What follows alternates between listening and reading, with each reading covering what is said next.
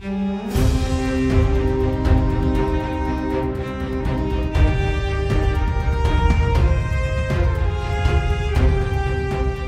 up guys? Welcome back to the OTG YouTube channel.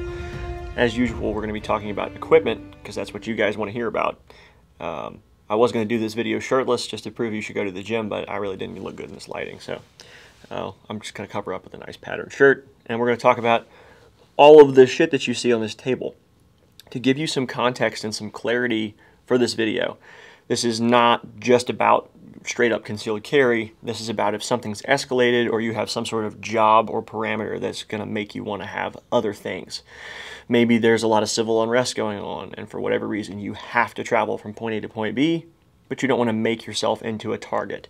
Maybe you work personal protection details, or there's something else going on that makes you feel that you need some level of armor, some level of backup, or you know, big gun in the car some sort of um, medical equipment or like an emergency rig or an active shooter type of throw on kit, things like that. So we're going to talk a little bit about scalability, but we'll also have a longer video just about scaling equipment later on.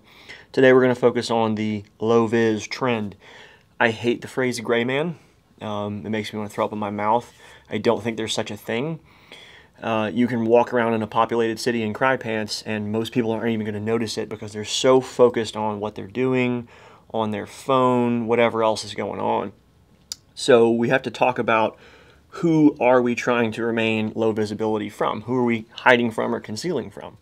The average person is not looking at you and they don't care unless you're wearing something that attracts attention.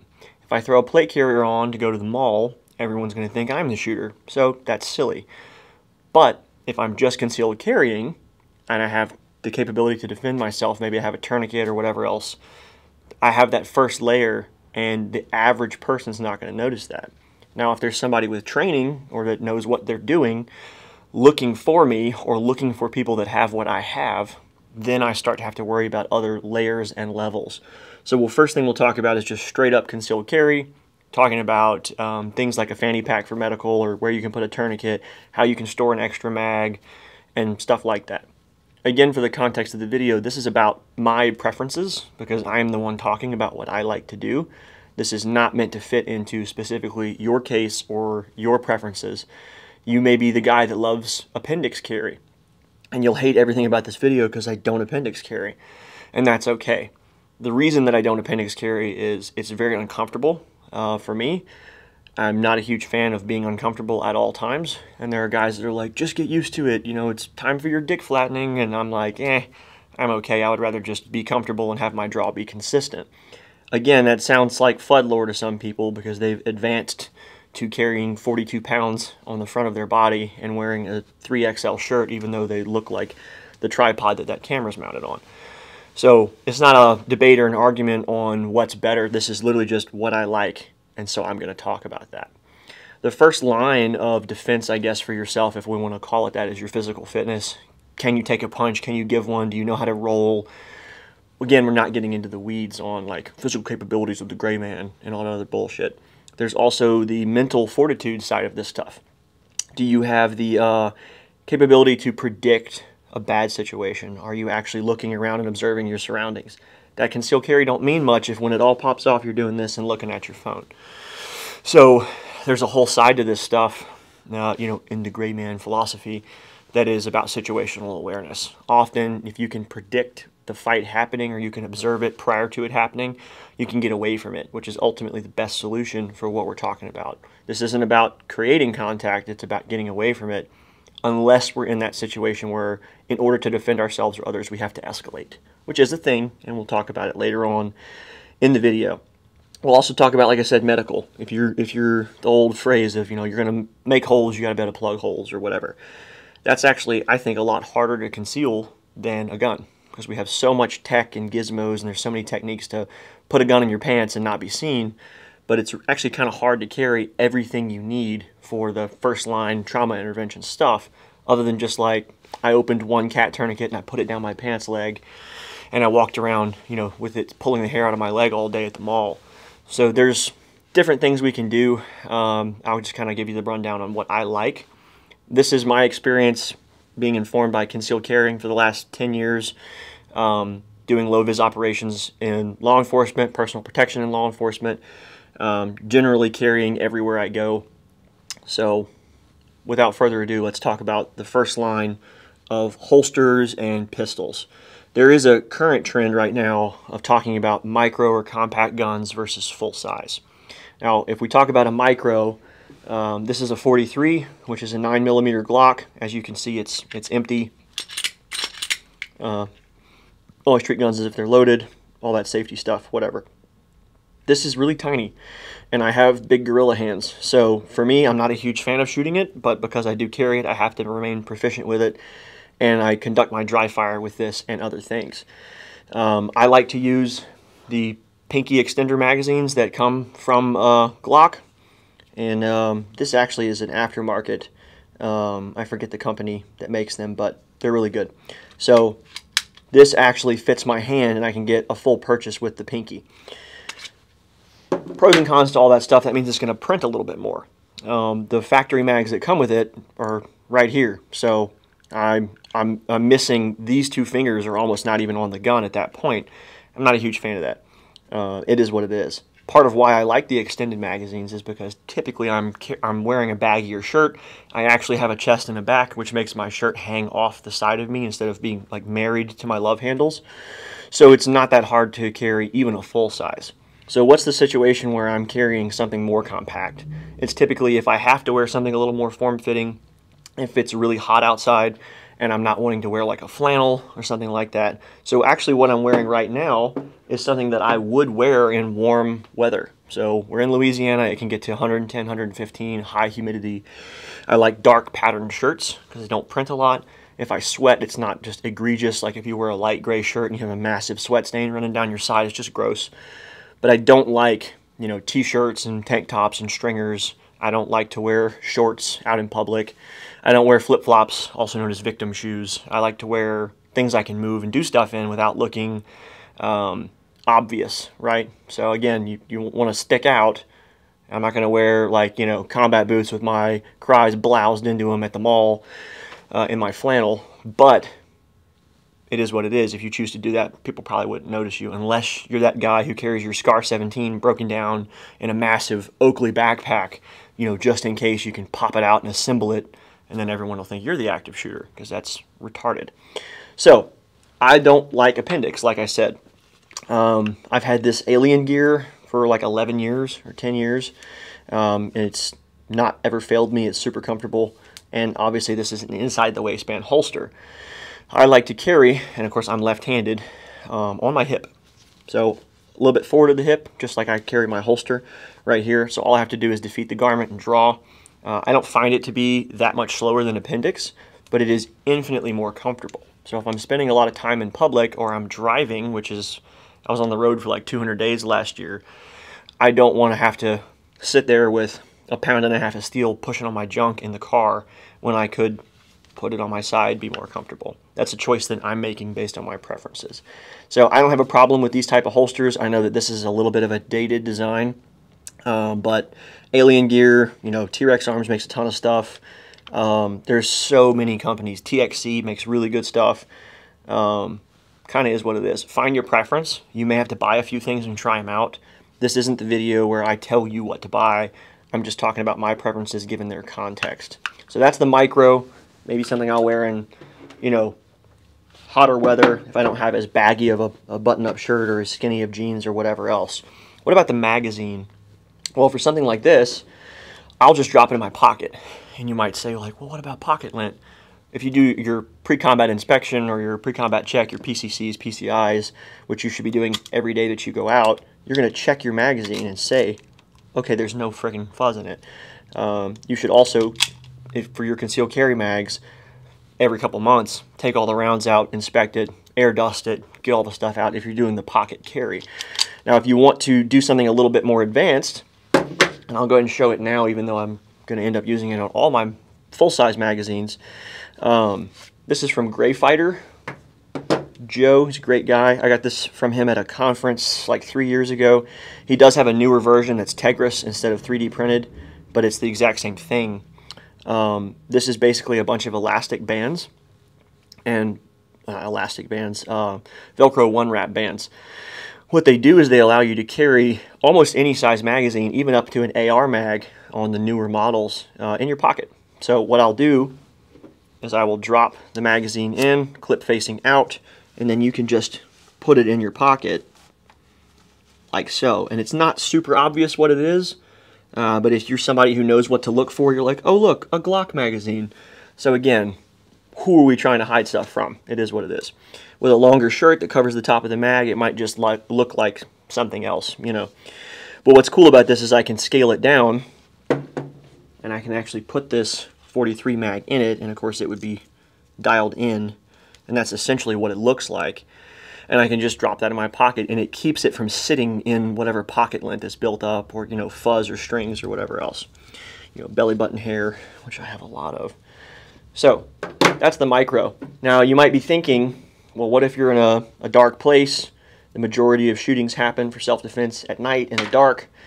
Um, what do you carry at that point to be able to do positive identification or PID there's this thing called flashlight and there's some old folks on the internet that don't think you need those. Um, just ignore them. This is uh, Cloud Defense. I want to say this one's like 1200 lumens. It's like 60,000 candela. I'm really not the flashlight nerd. MCH 2.0. I'm just now discovering that's the name of it at this very moment. Uh, I bought it because it was recommended to me by a follower when I posted about like, what lights do y'all use? Uh, I've beat the shit out of it. I've dropped it many times. Um, it conceals easily. It's got a pocket clip on it already. It's a flashlight. It's not a big deal. And I can stack that with whatever I'm using for my uh, carry that day. And it's nothing crazy, especially with a shirt over it. You know, you might know you might know what you're looking at, and that's cool. Um, if it's an average person, they're not like, "What's that in his pocket?" Oh, that's a Glock mag and a flashlight. Is what it is. So if you don't have a weapon light, you definitely absolutely have to have some kind of handheld. Even if you do have a weapon light, sometimes you're going to want to illuminate things without pointing a gun at it. So maybe it's kind of always a good idea to have a handheld light. And if you're a cop watching this, you know the old stories about when uh, the old dudes, the old heads would forget their three foot mag light. And if they had a weapon mounted light, they'd be shining their weapon light down at the ticket book that's another reason if you're a professional end user of this kind of stuff to always have a handheld light, not only for searching, but for tasks. You don't want to use your weapon light for anything other than I'm using my weapon. It's not for utility, it's for illuminating stuff when the weapon comes out. So it's always a good idea to have it not only for utility, but as backup, PID when you don't want to point a gun at something, etc., etc. Just always a good idea to have a flashlight on you. What's, uh, what is, uh, Pat McNamara say? Basic dude stuff, right? Just have a freaking flashlight. Don't be a tool. So the next level of this would be, um, what if I want to carry a full size? Let's talk about the pros and cons of that. What does a full size give me? Well, if you got big gorilla hands like me, obviously a, a better purchase on the gun. It's more comfortable. Maybe I'm better at shooting it simply because it's easier to shoot. There's a whole debate on that, like you should be just as good with the compact as you should with the full size. Don't disagree. But that's also why you don't see anybody competing with compacts because it's just easier to be good with these things. So a couple things that I do conceal carry, even in the summertime in Louisiana, I will conceal carry full size. This is kind of the main one. Uh, United Firearms did this as a custom job. They had us on a contract class out in New Hampshire two and a half, three years ago, and um, I really liked the like army man green color that one of the guys that worked at the shop had on his gun. So they did a custom uh, Cerakote, I dropped an agency barrel in it because it looks like Master Chief, right? This is this is finish the fight right here, um, and then I have an SRO on it. Again, there's like old bald guys on the internet that'll be like, SRO is not duty rated or whatever. Uh, I don't use the optic for breaching. I'm not intentionally smashing it on stuff, and I have dropped it. It is beat to hell, um, and there's no problems with it. It gets dirty, so I take my finger and I wipe out the stuff that's in it. It's crazy. Um, that being said, closed emitters do have a lot of advantages. So you can conceal carry open or closed, just maintain your freaking equipment, and it is what it is. Um, I'm a huge fan of Surefire lights. I don't like the ones that have the um, the A, the alpha attachment. I like the threads on them. But for some guns, the alpha attachment actually works pretty well. I think yeah, that's the 300UA, 300UB. So for the full-size Glock, um, I'm putting it in a iron sight holster from T-Rex. One thing that I found about their holsters, they don't technically make a holster for a staccato, but I'll show you in a second. I bought it for this gun because this is what I mostly carry. It's got a really nice positive retention, and what it's really retaining around is the flashlight. And I was looking at how this portion of it is honestly not super detailed to Glock features. It doesn't come up high enough to impede an optic. It doesn't interface with the um, the Kagwerks extended uh, slide stops or anything like that. So I was like, huh, maybe I can put my staccato in it. I like the staccato because the magazines carry like six more rounds. Um, probably the smoothest, easiest shooting gun I've ever used. And um, like they say in the movie Snatch, weight the sign of reliability, right? That's like a two pound gun. It just feels good. I got the big iron on my hip. So Marty Robbins style, I threw this in the same holster and uh, I call it a little puff of dust came off of it. Uh, same retention. Now, if you're a lefty like me and you're using a 2011 style that doesn't have an ambidextrous uh, release, you may have to trim a little bit off of the uh, holster right here. So I took a good old-fashioned pocket knife, just whittled it away, and then sanded it down so that the holster is not bumping my mag release. But otherwise, didn't have to modify it, and as a right-handed shooter, you wouldn't even have that problem. So anyway, all that to say, you can carry full-size stuff outside the waistband on your hip if you just have the right shirt. Um, I'm using the Stendos, so you know you've got your 20 whatever three round mag or whatever it is that they hold, 20 round mag, and you're you're able to carry this under your shirt. Some caveats to it: it's not laying nearly as close to your body. It's not like it's a leather formed holster that fits on the right plane. Um, so I'll show you what I'm talking about this is empty and you're actually on a computer not in the room with me so I'm going to point it at you. Um, you can see how the bevel of it it's such a, a girthy gun that it's not going to lay as flat to my body especially with the weapon light and the optic and all that other stuff. Leather formed holsters I will also carry a, a 1911 in a leather formed holster. I bet that pissed a lot of you off that makes me happy. It sits really close to my body this doesn't sit as close. So if you're moving a lot, if you're out in public and you're not just sitting in your car driving, what will happen is if you're carrying outside the waistband on your hip with a baggy shirt, as you turn, the fabric will catch or print on the handle.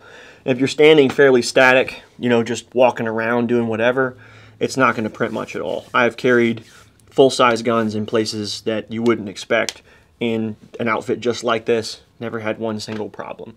Nobody picked it up. You know, security guards, whoever else that you would think would be like, yo, are you carrying?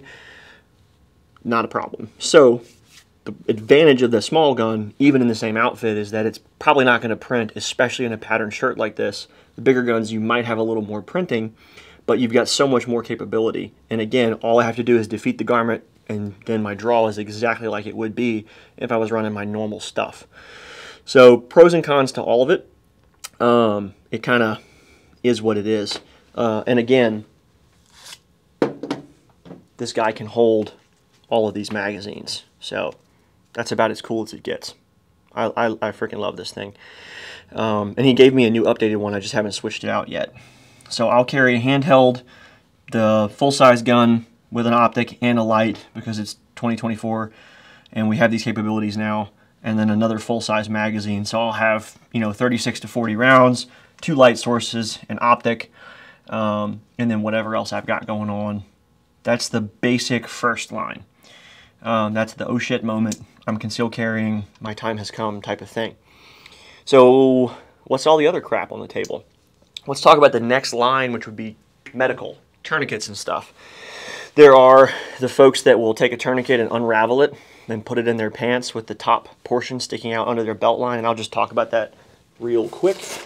So this is a Cat 7. Don't go buy some fake shit. There's no point in carrying medical equipment if it's not real. Um, they'll take this thing and they will put it in their pants like so at the belt line right here this part's sticking up and this is actually trailing down into their pants so if they have to pull a tourniquet, they've already got it right there with them. Uh, that's super uncomfortable, um, but I have done it many, many times. It's better in something like blue jeans. Uh, these pants are from Paige, I think is the brand. My wife bought me like four sets of them because they make my ass look good, uh, which honestly isn't that hard. But um, it's not as easy to conceal things down the pants leg, and it does print from the pocket a little better. They're great, like uh, four-way stretch, um, you know, plastic pants. They do well in the summer. I really like them for that. But the, the lighter the material, the stretchier the material, all that kind of stuff, things are going to print more. So things like, you know, good old Wranglers, Carhartt, uh, anything that has a pattern is going to print less, but in hot environments and whatever else, you're going to have problems. Also, cargo shorts or cargo pants are incredible um, for hiding things like medical equipment, putting a couple chest seals in one cargo pocket, a tourniquet in the other, and you're concealed carrying, but then you're the guy wearing cargo pants. And again, is that something that sets people off? I don't know. Uh, I just spent three months in Boston and I wore Crye pants every single day, and not a single person even looked at me. So it doesn't maybe really matter that much, um, but something to consider. What if we don't want to try to disperse a whole first line medical kit or an IFAK into our pants? Well, you can use some sort of storage system. This isn't the best example because it's Ranger green um, and looks militaristic. Uh, I didn't bring the Patagonia that I would normally do this in. Patagonia makes a series called Black Hole, and it's made of uh, like a repurposed tire rubber that they turn into like a sort of like PVC monster. But it can lay really flat or it can expand a lot. I use their bags for all kinds of stuff. Um, they'll tell you they're a liberal company, but they are suckling the teat of the military industrial complex anyway. They make great stuff. Just use what works. I don't care about the political opinions of a company. Um, this is from London Bridge, LBT, and it is holding just a shitload of stuff. Um, I got multiple tourniquets. Uh, I think I have four tourniquets in here. Other tourniquets can be carried elsewhere. Eight of the compression, I mean, of the uh, hemostatic gauzes, two compression bandages, a SWAT tourniquet or a SWAT T, which is great for children, you know, dogs. It can be a good pressure bandage. Uh, two chest seals, and that's all in this little bitty low profile package. Now, if you're not afraid to be the guy wearing a fanny pack, or a bum bag, as they call it now, fanny's a bad word in some places apparently, um, it's a great option. Uh, I still don't suggest you carry your pistol in it, unless maybe you're jogging or something, because now your pistol is not actually retained on your person. It's in something that can be snatched, grabbed, unbuckled, uh, etc. So this is a great way to carry medical equipment or supporting equipment. I just wouldn't use something that's like, here's my Ranger Green medical kit walking around at the mall. Um, other good brands, unironically, JanSport makes a great um, one of these sort of systems. They have different sizes. They have like denim. They have bright colors. They have stuff that doesn't look like you, you're maybe a tourist or a photographer or whatever, and you have some you know stuff in one of these. I've also used a company called Ysport or Wisport out of Poland, and their stuff is sold through a site in, U in the UK called uh, Military First, and it comes in all kind of patterns. And the only reason I even bought it is because it was Multicam Tropic, but it turned out to be actually a really cool purchase. It's called the uh, Toque Pack, and it's about half this size, so you can't carry as much. But if I was going to get something to carry around, you know, concealed carrying medical equipment, you could put one tourniquet, about half of what's in here on it, have another tourniquet on your person somewhere and a pistol, and you've got a good bit of stuff and you're not sticking out like a sore thumb. So fanny packs are underestimated and somewhat demonized on the on the Instagrams, but they're a fantastic way to carry medical equipment at the very least and not just, you know, be obvious. The reason why you would want to carry medical equipment out in these types of places uh, for like a, a high threat area, like a mall is where active shooters happen a lot. Um, if you're a teacher or something like that and you can't carry a pistol but you want something like this, great, great option to have and you want to have more than just one thing. We all talk about IFAKs being like, it's for me. But if there's some kid bleeding out, you're absolutely going to use it on them. And I can say that from experience. I've used my own IFAK on other people responding to shootings and stuff like that. Um, knock on wood, never had it used on me. I've only used it on other people. So bring more than just one of everything. Um, there was a, here in Hammond, Louisiana, there was a uh, bombing incident. The guy didn't actually have real bombs, but he made it look like he did. He drove his vehicle into the front doors of a Target. His car's inside the Target and was just throwing pipe bombs out. Um, it took almost three hours for the cops to get inside and get the building cleared because there's the outer perimeter, it has to be safe, and all this other kind of stuff. So if bombs had actually gone off or anyone had been maybe cut by glass or run over by the car, you have two to three hours before the scene is safe for EMS to get inside. So you might think it's kind of lame to carry a fanny pack of medical, medical equipment to, you know, Target or the mall until you have an arterial bleed and you're like, dang, I shouldn't have tried to be so cool on Instagram. So there's that. Now let's talk about other concealability. So we just talked about baggy shirts, pants. Um, what what else can we do? Well, in cold weather, which is super cool, my, my favorite. We don't get a lot of that in Louisiana. Uh, this week has been awesome. You can always throw on a jacket. Um, jackets obviously are another layer of clothing that you have to defeat, but it allows you to hide a lot more stuff. Um, again, if you're wearing a M81 parka, people are going to be like, "That's Ted Kaczynski's, you know, nephew." But if you wear a normal jacket made by, you know, regular people clothing brands, um, I think I just got this one for Christmas. It's my new favorite, Abercrombie and Fitch, and uh, it helps me conceal. So I can throw on a full size and even have my shirt over it, just like I would be carrying it open. Have a jacket over it. Now I still only have to defeat one layer of the garment. So something to consider layering if you're in a cold environment can really help. That can also help with other stuff. So let's just up the ante a little bit and see what if we had to carry other stuff? What if we think maybe something worse might pop off? There's this whole subculture of like truck gun, you know, bag gun people, um, and I'm not hating too hard on that, but there needs to be a, in my opinion, a clear indication of a need in order for me to bring all that with me where I'm going.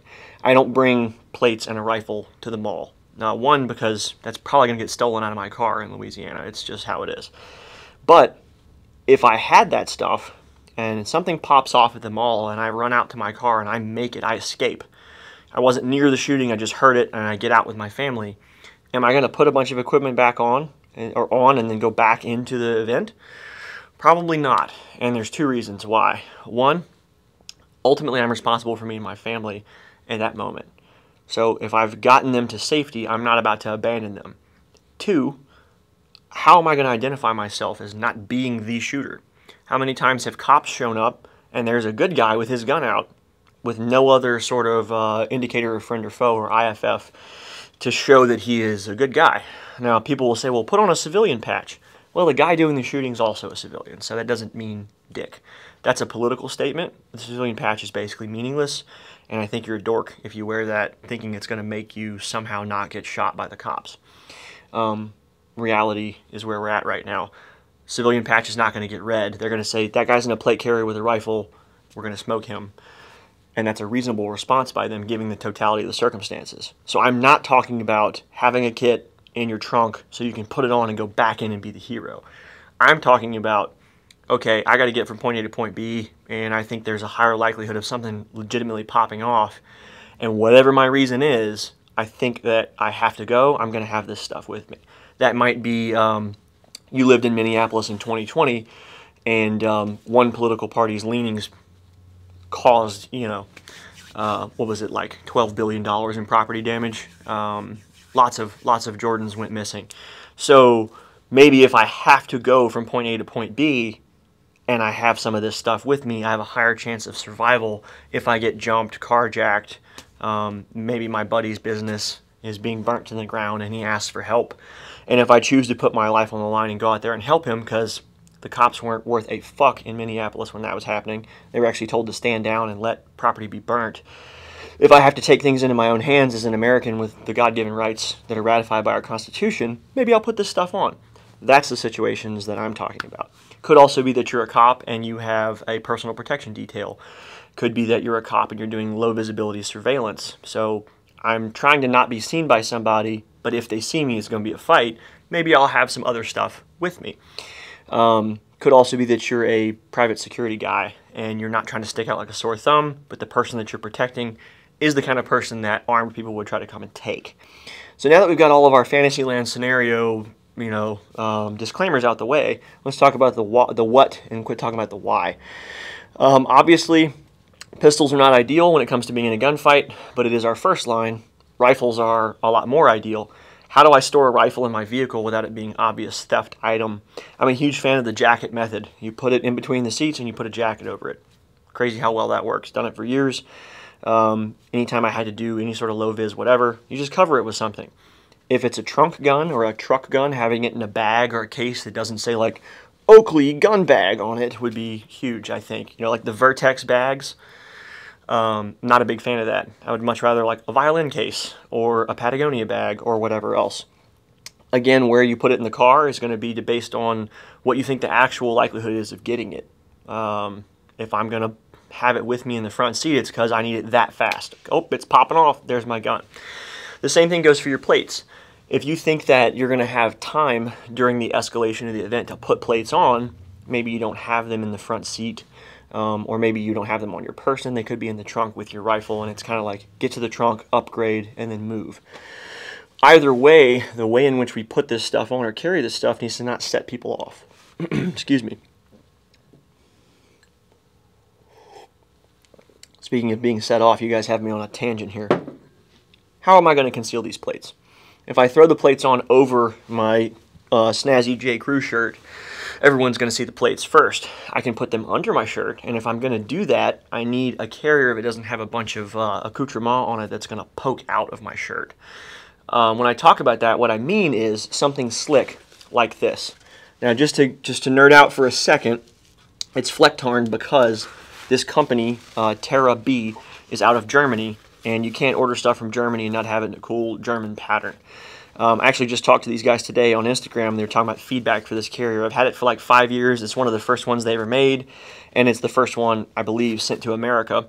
Um, this is a scalable kit. It is not made to be only low vis or only overt, and so because of that, it's not the best at either one of them. But I have found it to be one of the best concealable carriers I have used. I did wear this quite a bit on low vis stuff as a SWAT dude back in the day and I put lighter weight plates in it. Um, we had some really, really nice plates. So I could get level four protection from, you know, two and a half, three pound plates. Not everybody has that option. Work with what you got. But if you can, select a higher rating plate with a uh, low profile design, especially if it's multi-curve so it hugs your body better, this is a great option. Now what makes this a good option is that there's not a whole lot of seams and things that are going to cause ridges and ripples. If you put this under a white t-shirt, everyone's going to see it. You're going to have a giant box on your chest. But something with thicker material, something that has other stuff on it, you know, the ridges of the buttons, the pocket, the pattern, that's going to disrupt a little bit of this. But this carrier doesn't have a lot of seams. Like you can see, the ridge here is only going to be formed as it bends around the plate. There's no pocket that's sewn in. It's not a plate bag sewn into a strap.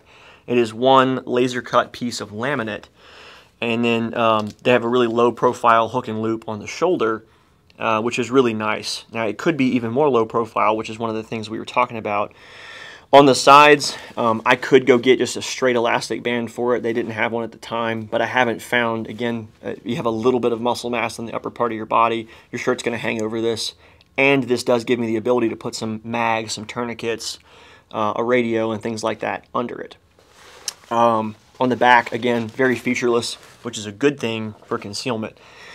If you can find a carrier that doesn't have um, Velcro ID panels on it, not a bad thing because the whole point of this is it's going to be under a shirt.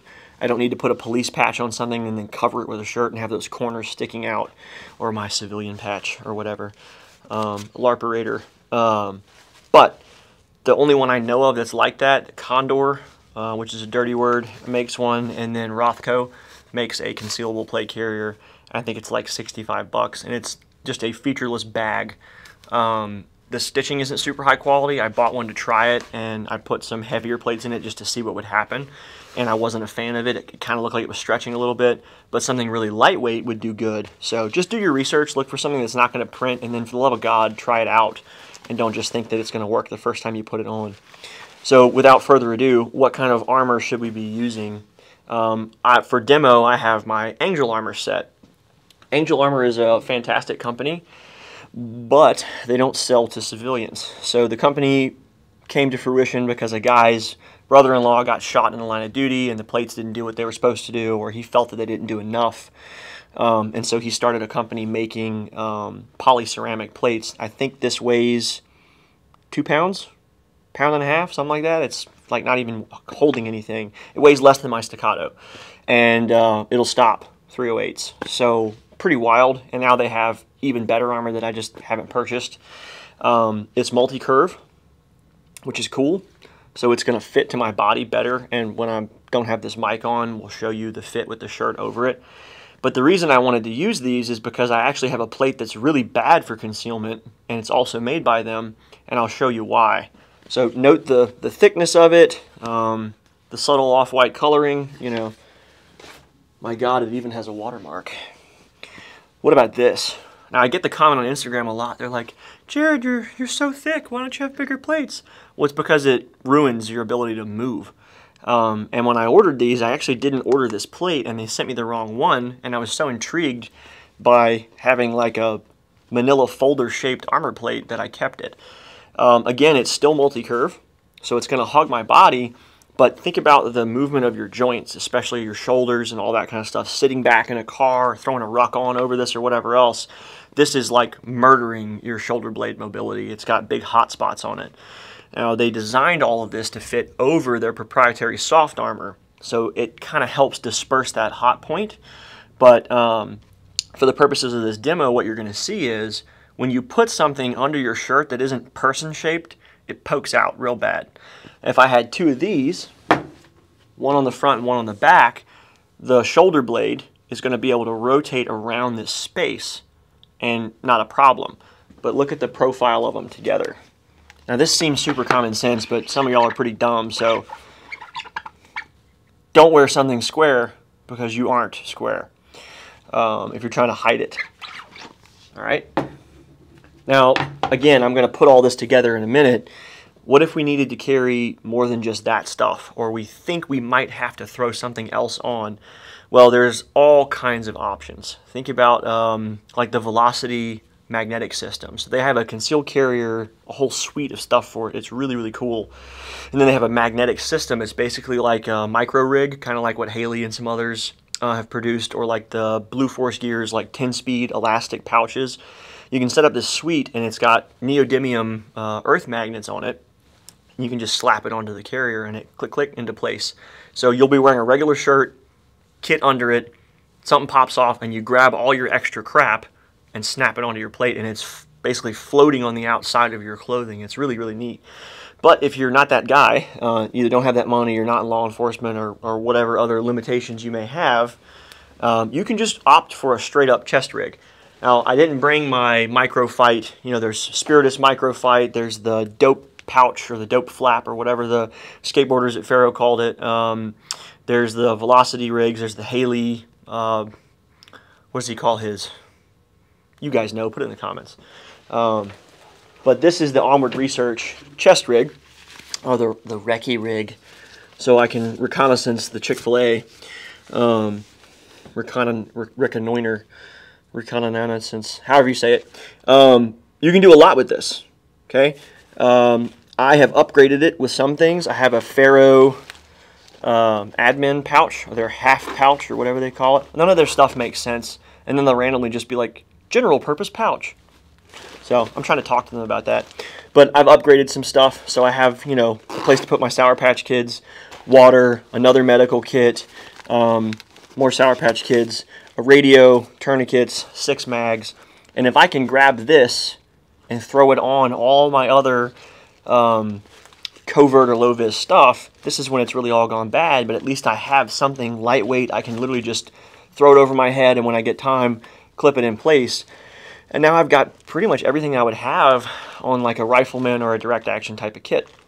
So this is all scalable. It can all be worn separately or in conjunction. And of course, the rifle, obviously, um, there are people that would say like a sub gun is really good for this stuff.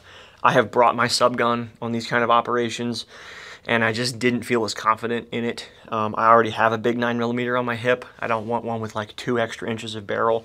Um, if I want a rifle, I'm going to get a rifle. And especially because the capabilities of a modern 5.56 and the length that they are, just they surpass subguns. So as cool as it is to put all this shit on, and like admin does, the HK slap, I think I would probably rather, if it's really going to pop off, have my 5.56.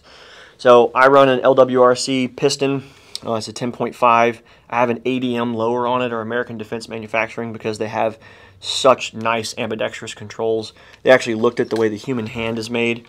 Um, or I like to jokingly say ADM and God got together and made the rifle. So everything is where your fingers actually use it. Um, when you go to reload a magazine, you have a bolt release right there. So a lot of, lot of really cool features on it. Um, as much as I love LWRC, their lower is not as well made. So I put that together. Um, whatever your capabilities are, obviously if you don't need a laser and a suppressor or you don't have one and can't afford it or whatever, just a good white light, a good reliable optic that's not going to need to be turned on and prepped. Um, I'm using the Promethean LP1 from Lead and Steel. I've had this on here for uh, 10 months and it's been on the entire time um, on the setting that I found that was homogenized for use under daylight, low light, white light, and NVGs. So literally all I have to do is pick the gun up. It's supposed to have 30,000 hours of battery life. Uh, I think we're close to surpassing that. I'm not a mathematician, so you guys tell me what, um, you know, 10 or 11 months is in hours. But um, something like that. Aimpoint is usually the go-to for a lot of people's like truck guns or whatever because they can just pick it up and it has like four years of battery life. So um, a lot of a lot of stuff goes into that, but just pick something reliable. Um, you know, don't go get the Kel-Tec fold-out carbine or whatever, unless you're the guy that has to have it in his you know backpack uh, or whatever other trend you're following.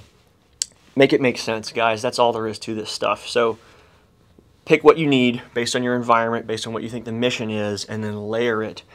Uh, if you don't need plates in a rifle, don't bring it. Just bring your medical, bring your pistol. If you think that's really that necessary, but you don't have to wear it around, put it in the trunk or put it somewhere hidden so that you'll make yourself a target.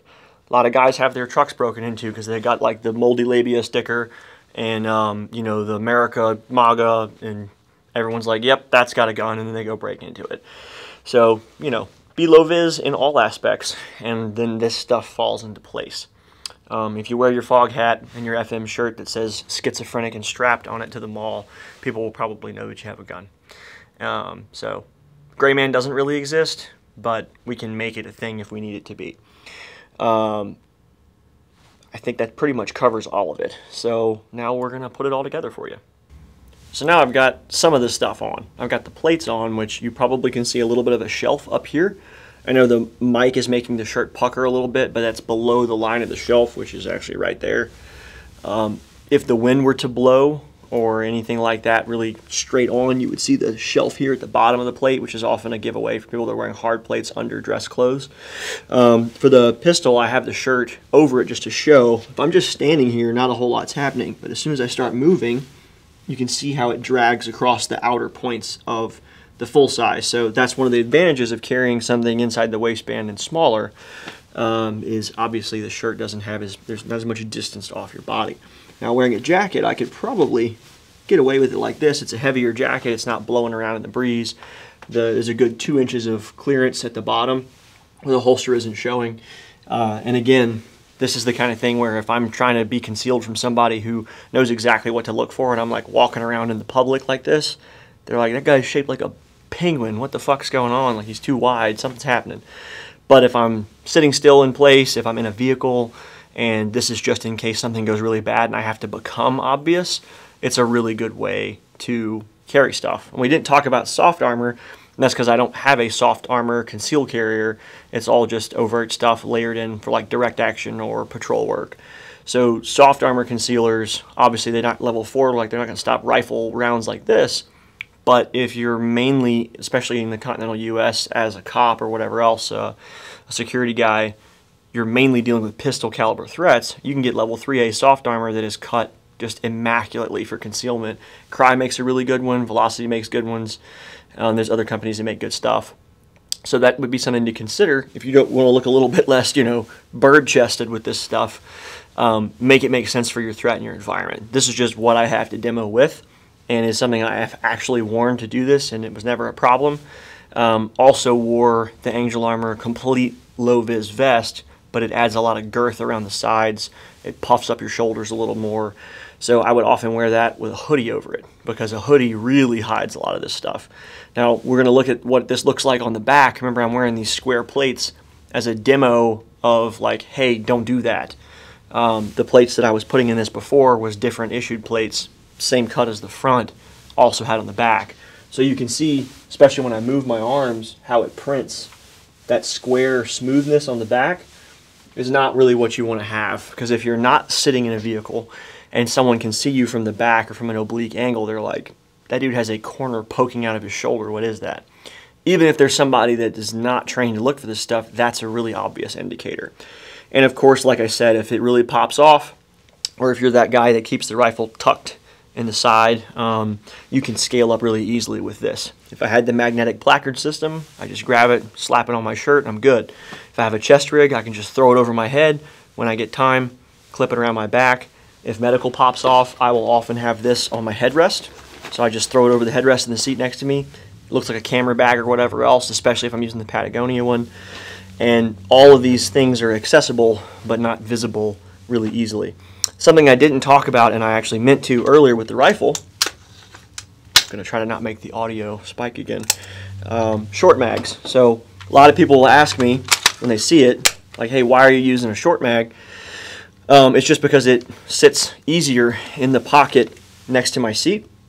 This magazine doesn't stick as far down into that void, so I can uh, have it a little bit easier concealed. Now, if you're not willing to sacrifice those extra 8 to 10 rounds, cool, use a big one and maybe just be aware that your rifle is going to poke out of the seat a little more. But that's one of those things that's not of a lot of consequence. It's just something to talk about. Short mags can be a great way to set up your truck gun or, you know, use my pistol to fight to my rifle gun or whatever else. Um, that's pretty much it on putting it all together other than just, you know, throwing the chest rig over my jacket and I'm not going to give you guys that luxury. So, uh, thanks for watching if you're interested in learning about this kind of stuff, uh, there's a lot more material out there. There's, you know, all the gray man blogs and all that stuff. Honestly, in my opinion, the best way to get good at concealed carrying and low vis things is to just do it.